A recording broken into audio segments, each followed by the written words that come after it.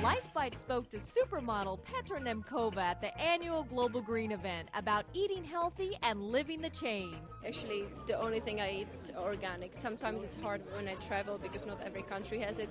Um, organic organic foods, but but usually when you go to Europe, everything is more organic than in US. There's a big problem with using hormones, and and it's actually um, I have been struggling with for for many years. So yeah, definitely organic, and um, it's the way forward.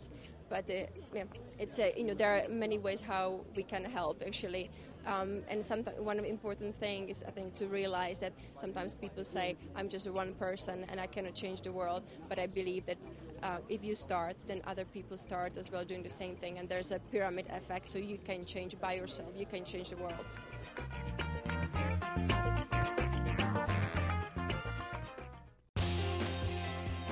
Healthy Living now has a new home where you can get fresh ideas, entertaining content, and practical tips to help you squeeze the most out of life.